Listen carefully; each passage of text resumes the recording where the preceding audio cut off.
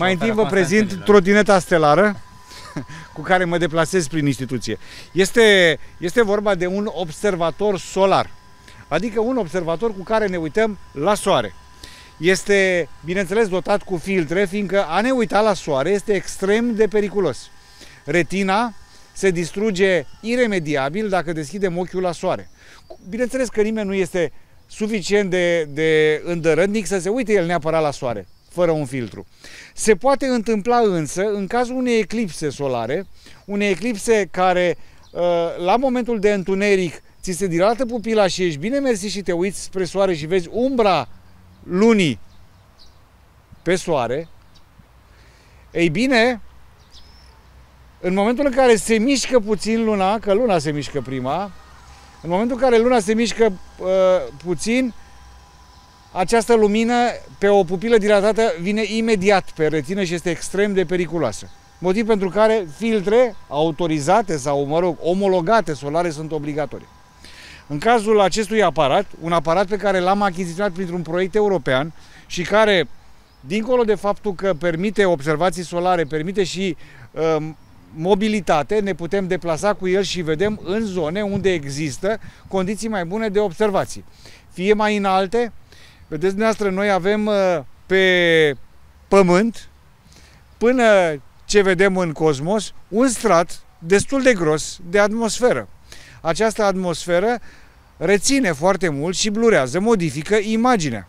Această atmosferă poate să aibă particule de siliciu, poate să aibă și are, vapor de apă și în consecință toate astea îți reduc și mai mult din uh, posibilitatea de a avea niște observații exacte. Din fericire, în ceea ce privește soarele, suficient de mare, suficient de aproape, ne, ne permitem să-l putem observa cu un astfel de obiectiv și prin atmosfera noastră destul de bine.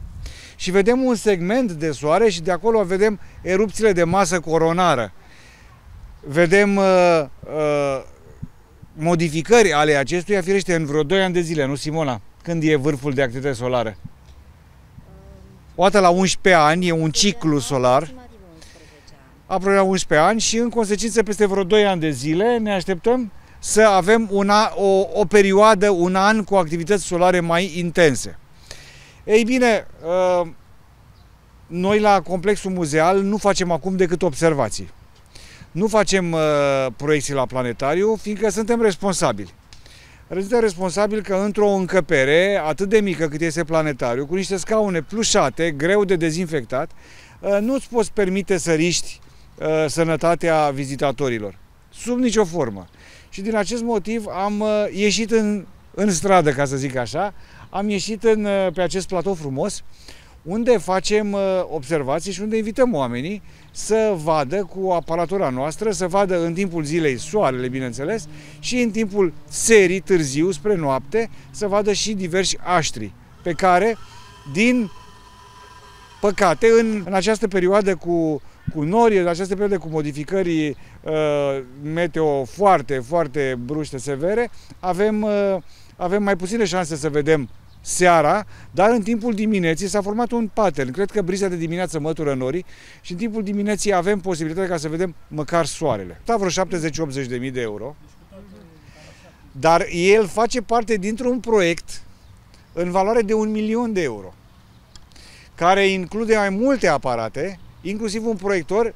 El este marea investiție, stă în mintea noastră este aproape 600.000 de euro. S-a licitat acum cu, cu o sumă mai mică, sperăm să se poată aduce ceva de, de această sumă, însă în acest proiect există și alte activități, adică există și activități care sunt complementare aparaturii cumpărate, activități ce înseamnă observații nocturne în anumite zone montane special cu poluare luminoasă mai scăzută și mai puțin praf, în uh, zone de podiș înalt, în uh, Dobrogea românească, dar și bulgărească.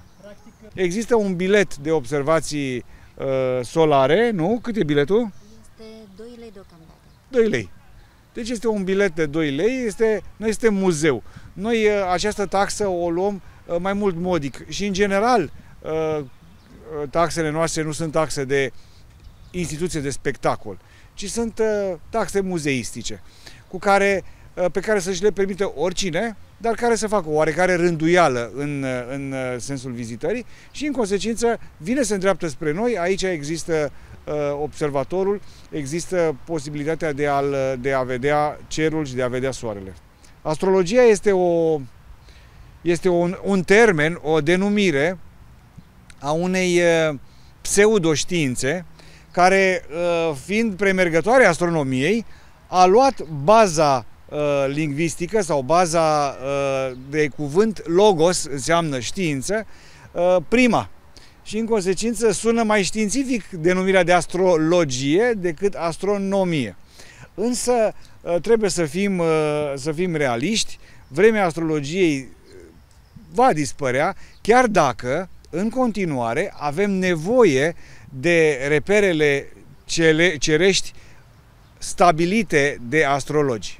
Respectiv, în momentul în care te poziționezi pentru observație stelară, cerească, trebuie, bineînțeles, să te localizezi într-o zodie, într-o constelație, într-o, într-o zonă care a fost denumită cu mult înaintea ta de astrologi.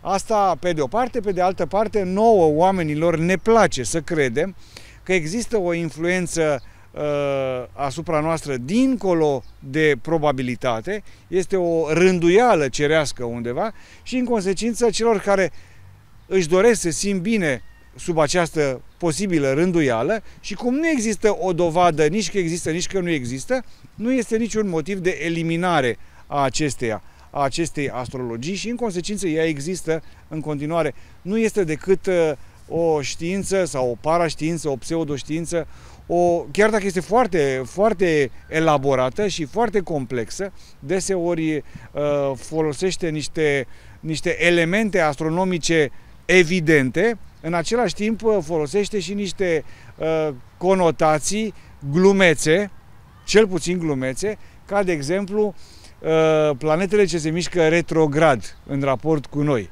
această, această mișcare retrogradă e generată de faptul că merg mai încet, că și dintr-o geamul lateral a unei mașini, când depășești un trabant, ți se pare că trabantul merge invers, dar el de fapt merge doar mai încet decât noi. Ei bine, aceste pasaje ale planetelor pe astru principal, pe Soare, de asemenea, sunt foarte importante și, în consecință, sunt o mulțime de Uh, nu ciudățenii, erau ciudățenii, dar lucruri, uh, lucruri plăcute și frumoase și interesante ce dă drumul la o mulțime de imaginație. Menționați mai devreme despre mm, aceste filtre naturale. Cineva vedea Himalaya de la din altă țară, nu știu, pentru că era foarte clară atmosfera. Cât e mit, cât e realitate în uh, toată, după această pandemie, prin faptul că economia s-a oprit cât de cât, că nu vedem de aici Himalaya și nu din cauza atmosferei, ci din cauza curburii pământului. Asta în primul rând. Uh, dar, într-adevăr, în urma pandemiei s-au produs niște clarificări ale atmosferei și le-am putut cu toții observa în uh, luna aprilie mai ales, cum cerul era atât de curat, cum o nuanță albăstruie cel puțin, uh, cel puțin deosebită și mai mult cum se puteau vedea, vedea aștri seara, extraordinar ce imagini puteam obține ale satelitului natural Luna, dar și ale unor planete apropiate. Uh, planete telurice din jurul nostru în special, dar și Saturnul se vedea foarte bine. Telescoapele astea pot să vadă și gamma, și X, și UV, sunt foarte multe cu UV, sunt foarte multe cu radio. De pe sol poți vedea undele cu lungime mare, radio, microunde, infraroșii, colorate, puțin, ga, puțin uh, ultraviolete, dar dincolo de ultraviolete, încoace spre mâna mea stângă, nu mai vedem nimic frecvențe înalte, fiindcă atmosfera și clopotul geomagnetic al Terei le oprește și respinge. În consecință trebuie să trimitem în spațiu uh, receptori pentru aceste game și sunt cele mai noi telescoape, telescoape în raze X și gamma, dar în special în raze X, în gama încă nu ne permitem, telescoape în raze X cu care putem vedea lucruri mult mai în profunzime înțelegerii sistemului uh, Universului, nu sistemului solar, că ieșim din sistemul solar când ajungem la astfel de, de posibilități. Și, bineînțeles, cum spuneam, a doua este ce am zis înainte, grosimea atmosferei, filtrul ăsta care e destul de important.